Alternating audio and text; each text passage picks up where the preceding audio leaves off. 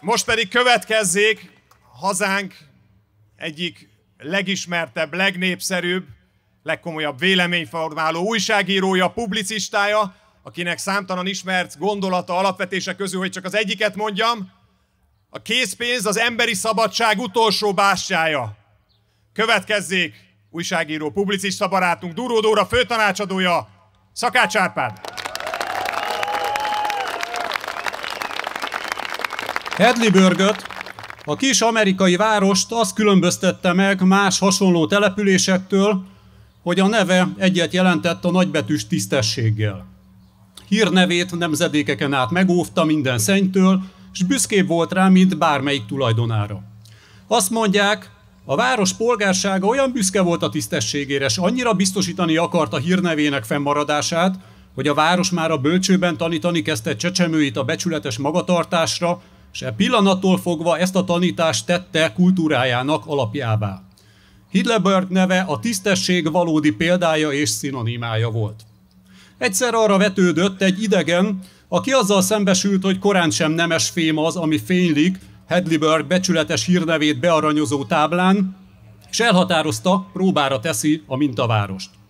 Egy kisebb zsákot hagyott megőrzésre az egyik becsületes polgárnál, azzal, hogy menjen érte a városból az az ember, aki vele, mármint az idegennel korábban jót tett, az erszény tartalma pedig arany volt. Az idegen titokban mindenkinek elküldte azt az információt, ami az úgynevezett bizonyíték volt a beazonosítást illetően. Valójában senki nem volt jogosult az aranyra, mégis a becsületesség, a tisztesség, a jóra valóság, a szavahihetőség mintaképeinek királyi köntösébe bújt polgárok kivétel nélkül a maguk megérdemelt jussaként tekintettek a zsákra. Az átadásnál pedig mindenki lelepleződött. Kiderült, a tisztességes város mintapolgárai a legkisebb próbánál elbuktak, önző, hazug, egy velejég rohadt képmutató banda volt az egész település, valójában nem, hogy becsületesek nem voltak, de egymást sem tisztelték, egymást is átverték volna, csak hogy övék legyen az, amire nem voltak jogosultak. A város tisztességes polgárai kivétel nélkül a képmutatás állarcába bújtatott alávaló hazug pernahajderek voltak, róluk írta Mark Twain a Lóvátett Város című kisregényét, ami minden idők felfúvalkodott polgári áltisztességének hű tükre, aminek becsülete talmi, a megvesztegethetetlensége kirakati dekoráció, a fedhetetlenség látszatát magukra öltő polgárok a saját egyéni önző érdekeik mentén kimutatták a foguk fehérjét, a valóságban is megmutatkozott az igazi arcuk. Hölgyeim és uraim, ha körbenézünk korunk társadalmi viszonyai között, az az érzésünk támad, mintha egy Mark Twain féle világban, egy lóvátett országban élnénk. A politikai, a gazdasági és a kulturális elit el van telve önnön megvesztegethetetlenségével, önnön nagyszerűségével, tisztességével és bátorságával. Felfúvalkodott becsületességük talapzatáról a bizalmunkat kérik a munkájuk további folytatásához, értünk fognak küzdeni az önkormányzatokban, az Európai Parlamentben, mindent értünk tesznek majd a mi szabadságunkért, a mi biztonságunkért, jólétünkért, hangoztatják Hedliberg mai reinkarnációi. Csak hogy az elmúlt években, mint az ördög jobb és bal keze megmutatták, kik ők valójába, mi az igazi arcuk. A globalisták utasítására szolgálták azt az ördögi tervet, azt az emberkísérleti programot, ami egy oltás alapú társadalmat akart létrehozni. Szabadságjogaink sárba tiprásával hitettettek az ideológiák feletti ideológiának, a covidizmusnak. Minden gondolkodó ember számára nyilvánvalóvá vált, hogy a keresztény konzervatív és a balliberális oldal ideológiája kirakati gics, azok az ígéretek és jelszavak, amikkel a választásokon a tömegek bizalmába férkőzve megszerzik felettünk a hatalmat, csak cirkuszi kellékek ahhoz a szíjátékhoz, amit globalista gazdáik elvárnak tőlük. És a tömegember, a tömegtársadalom újra és újra visszatapsolja a hatalomba a hazugság és a képmutatás mestereit. Joggal gondolkozhatunk el azon, mint a Mobidik zenekar egyik szövege, miféle gonosz erő, ami folyton vesztünkre tör. Hölgyeim és uraim, a tömeg a polgári történelem alkotása. A polgári átalakulás elmúlt 250 éve száműzte a szakralitást, az emberből Istent kreált, akinek az élet helyett a halott anyag lett a szimbóluma. A felvilágosodott ember magabiztosan sétált be a sötétség barlangjába, önmagát egy alacsony rendű darwini állati szintre degradálta le, közben felszámolta civilizációjának alapjait, társadalmi körülményeinek gerincét, tartószlopát, a rend lényegét, a természetes hierarchiát. Helyette megteremtette a természetellenes egyenlőséget. A halott anyagból, mint Frankenstein a saját szörnyét, a polgárság is létrehozta a saját kreatúráját, a tömegembert. Hölgyeim és uraim, a polgári világ legfőbb bűne éppen abban állt, hogy megtagadta magát a hierarchia lényegét, az értékrendjét, a kiváltság elvét, a minőséget, s helyébe megszervezte a tömeg mennyiségi uralmát. Írta az emberi civilizáció történetét feldolgozó filozófiai összefoglalásában, az ötödik ember című monumentális munkában a Hanvas Bélai szellemi magasságokban járó Várkonyi Nándor. Így folytatja. A tömeg lényegénél fogva mennyiségi dolog. Hiába van a dialektika törvényének, fokozás nem ismer, és semmiféle halmozás nem változtathatja minőségét. A szerves, tehát az egészséges társadalom rendje nem gazdasági, vagyoni, anyagi, azaz mennyiségi egyenlőségen alapul, mint azt az anyag profétái Adam Smith, Karl Marx és a többiek oly sikerrel hirdetik, hanem a munka, a szellem, a jellem értékhierarchiáján, vagyis az emberi egyenlőt, egyenlőtlenségen. A különbségek azonban nem ellentétek, hanem kiegészülések. Csak a csőcselék ember és profétái kiáltják ki annak, mert maguk hiával vannak minden értéknek, s a hierarchia legalsó fokán a helyük. Innen ered a csőcselékember örök dühe, és oldhatatlan hatalomvágya, ezért akar eltaposni, kiírtani, egyenlővé tenni minden hierarchiát, rombolás, erőszak, mészárlás árán, s uralomra jutva ezért visz végbe rögtönös elftagadással tökéletes jogfosztást, ezért állít fel zsarnoki diktatúrát, mint hogy a versenyt nem bírja, a különbözés, a minőség, az érték a halálát jelenti. Idézet vége. Hölgyeim és uraim, pontosan ez a tömegember, a tömegtársadalom tragédiája. Csak lefelé tud menni, csak lefelé tud nézni, és csak lefelé tud bármit is értelmezni, és csak lefelé tud húzni mindent. A tömegembernek nincs tartása, értékrendje, és semmilyen olyan igazodási pontja, ami bármilyen stabilitást adna az életének. Persze azt hiszi, mindennel rendelkezik, de valójában nincs semmilyen. Van, aki templomba jár, úgy érzi, hisz Istenben, sem, de semmit nem tesz meg, amit a hite elvárna, hiszen valójában nincs is hite. Értékrendeket hajtogat, mint a papagáj, de valójában semmilyen értékrendje nincsen, hiszen a túlságosan gyáva ahhoz, hogy életének a felismeréseivel szembesüljön, felvállalja azokat, kiálljon mellette, hiszen hiával van a bátorságnak. Ha teheti, a tömegember elkerüli a felismerésekkel való találkozást is. Ezért van az, hogy a tömegpártok tömegembereinek a torkán bármit le lehet nyomni. Ezért van az, hogy a fideszes keresztények béke hirdetésébe simán belefér napjaink palesztin népírtásának elfogadása, simán belefér tízezer gyermek legyilkolásához való asszisztálás, több százezer ember elüldözése otthonának a lerombolására. A tömegembernek nincs felelősségérzete, semmiért nem érez és nem vállal felelősséget. Mivel eredendően gyáva és megalkuvó, a legminimálisabb szinten sem bírja a felelősségtudatot. A tömegember folyamatosan fél és retteg. Egy dologtól nyugszik meg, ha át tudja adni a felelősséget másnak. Erről szól az egész élete, a felelősség tudat átruházásáról. A tömeg urai ezért hozták létre számára a szakembert. A tömegember ettől megnyugszik, majd a szakember megmondja, majd a szakember eldönti, majd a szakember megoldja. Ez a magyarázat arra, hogy a tömegek a legképtelenebb őrültségeket is elfogadták a Covid diktatúra idején. A tömegember önérzetes, hiszen az egyenlőség van a fejébe pikírozva, és nem tűri meg, hogy más kimagasodjon a környezetében, ami mellett feltűnne önnön kiszerűsége.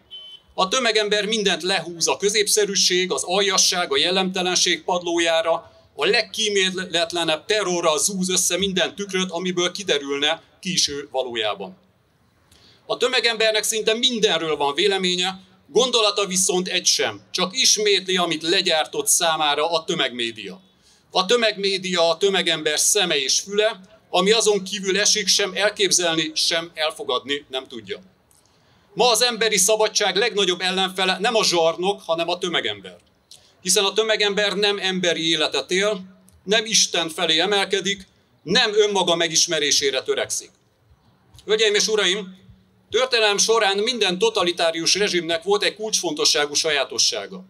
Arra való törekvés, hogy minden tudást ők irányítsanak.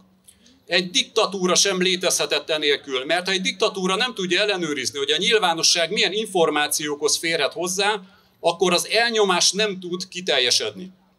Egykoron szovjet diktatúra elől elmenekült professzor azt mondta, idézem, aki vala is feladja az információ szabadsághoz való jogát, minden szabadsága elvész. Ahhoz, hogy szabad légy, először meg kell tanulnod gondolkodni. A szabadságot sokféleképpen kell kiharcolni és megőrizni, de ha először nem tudod, hogyan kell gondolkodni, akkor fel sem tudod fogni, mikor veszik el először a szabadságodat. Ahhoz, hogy egy nép szabad legyen és szabad maradjon, mindenkinek fel kell ismernie, hogy önálló gondolkodásra képes egyén, és meg kell tanulnia minden témában kritikusan gondolkodnia. A tanítvány, aki ezt elmesélte, és akire nagy hatással volt a professzor, így folytatja saját élményét. Megértettem annak jelentőségét, hogy szabad országokban az emberek hozzáférhetnek nyilvános információkhoz, megoszthatják tudásukat, eszméket cserélhetnek és nyíltan vitázhatnak. Ez mind döntő fontosságú, mivel a fősodor narratívájával ellentétes gondolatok felállításának az ala, felállítása az alapja a kreativitásnak, a találmányoknak és a haladásnak minden területen a filozófiától a fizikáig. Bárhol, ahol az emberek szabadon megkérdőjelezhetik a státuszkót, és új ötleteket terjeszthetnek elő, anélkül, hogy félniük kellene az üldözéstől, a társadalmak hajlamosak virágozni. Enélkül nem lennék mások, mint alázatos emberi tőkéje egy zsarnoki államnak. Amerikában sokáig természetesnek vettük az információ szabadságunkat és a szólásszabadságunkat. De ez fokozatosan kicsúszott a kezeink közül. A passzív fogyasztók nemzete lettünk, a tökéletes közvélemény, akit propagandával és elmekontrollal irányítanak. A tanítvány így folytatja.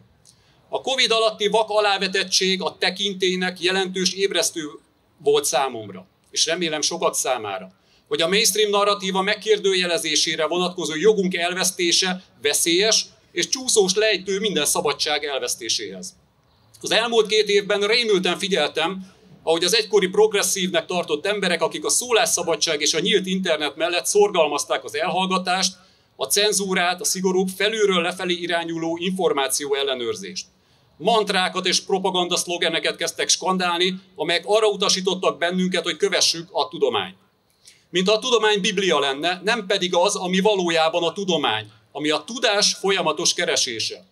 Nincs olyan, hogy tudomány, és a tudományt nem követni kell, hanem tanulmányozni. Ha valamit nem tudsz megkérdőjelezni, akkor az nem tudomány. Ez a tekintélyelvűség egyik ága. Mindenkinek abszolút joga van a kutatásokat folytatni, kérdéseket feltenni és döntéseket hozni, különösen a saját testével kapcsolatban. A tested a magántulajdonod, és a legjobb módja annak, hogy így is maradjon, ha felszabadítod az elmédet a további kérdésekre, azaz elkezdesz gondolkodni. Hölgyeim és uraim, kiegyezni az aljassággal, korrupt körülmények között elégedetnek lenni. Hanvas Béla ezt tartotta az emberi lét legnagyobb bűnének. Márai Sándor pedig irányt mutatott, miként szabaduljunk ki a szellem és erkölcsi értelemben is összeomlott emberi civilizáció romjai alól. Idézem, felébredni ebben a világban, kidörzsölni egy több ezer éves álom csipáját a szemünkből és körülnézni, egyértelmű a tudatosodással. Valami megtörtént, valaminek vége. Hölgyeim és uraim, a tudatos, gondolkodó ember hite kell, hogy erőt adjon, mi semmilyen körülmények között nem adjuk fel. Ránk itt és most van szükség. A tömegember az életünk hajóját neki kormányozta a jéghegynek, a tömegember el fog pusztulni sokan velünk, mi is, ha tétlenül állunk a süllyedő hajón, vagy félünk, rettegünk. Pedig csak az fog elveszni, ami pusztulásra rendeltetett, csak az fog eltűnni, ami életképtelen. Csak az fog túlélni, aki benne megmarad a gondolkodás képessége és az életerő. Ez az élet természetes rendje. A tudat teremtő ereje a világ legerősebb fegyvere. Ki kell mondanunk, tudatosodnia kell bennünk, hogy ezeknek felettünk nincs hatalma. Hölgyeim és uraim, minden tudatos, gondolkodó ember számára van mentőcsónak a süllyedő hajón. A választás lehetősége mindenki előtt nyitva áll, ha felszabadítja elméjét, kitörli szeméből a pártpolitikai csipát, és megfogalmazza a szabadság kívánalmát, a teste feletti önrendelkezés fontosságát, és nemet mond a globalista törekvésekre. Sorsfordító évben vagyunk, mint 1934-ben Anatoli Ribákov főhősei az Árbád gyermekei című könyvben. Ekkor teljesedett ki Sztálin tébolyút hatalomvágya, a zsarnok ekkor számolt le minden akadályjal, ami rémisztő uralmának kiteljesedése előtt állt. Az országban mindenki élte a maga életét, az emberek, a fiatalok tanultak, dolgoztak, szórakoztak, aztán egyszer egy nap rádöbbentek, mindennek vége. A gondtalannak tűnő életet a rémálomnál is borzasztó hétköznapok váltották fel.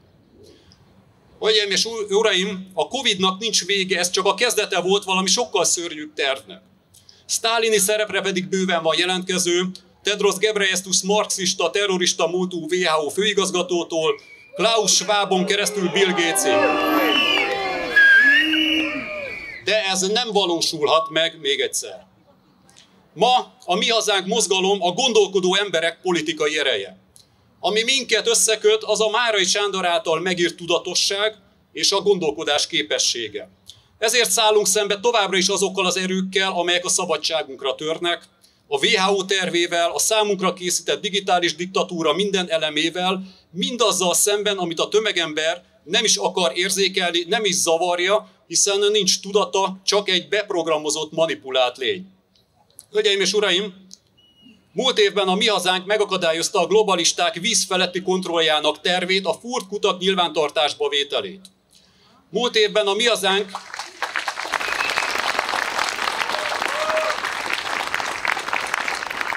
Múlt évben a mi hazánk elgáncsolta a napelemes háztulajdonosokra vonatkozó kedvezőtlen elszámolás hatályba lépését.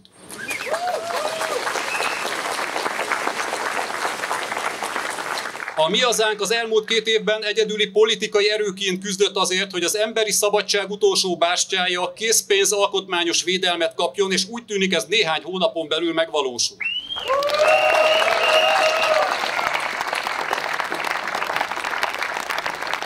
A mi hazánk négy éve folyamatosan szembeszállt a Covid diktatúra szabadságellenes intézkedéseivel, egyedüli politikai erőként áll a Covid diktatúra áldozatai mellett, elégtételt követelve azok számára, akiket megnyomorítottak, anyagilag ellehetetlenítettek a globalisták hazai helytartói az emberekre erőltetett vakcinaterrorral.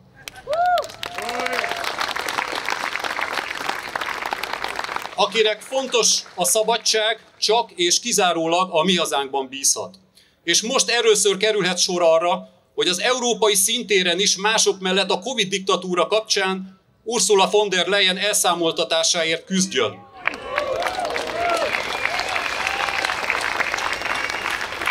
Arról az Ursula von der Leyenről van szó, aki a fidesz KDNP képviselőinek köszönhetően lett az Európai Bizottság elnöke.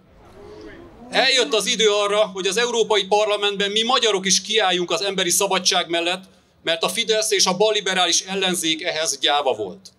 A mi hazánk listája az emberi szabadság listája akiben van még egy kis életerő, van még egy kis felelősségérzet gyermekei, unokái jövője iránt, az most csak és kizárólag a mi hazánk mellett dönthet.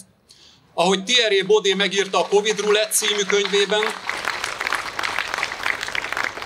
a hazugságok korát éljük, és ezért az igazság idejét. Az egyéni szabadság végső szakaszának, a szabadság halátusájának vagyunk a szemtanúi.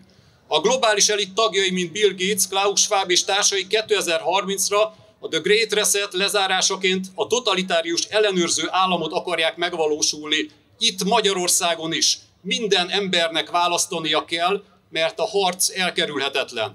Most már ön, a gyerekei és a családtagjai kerülnek a célpontba.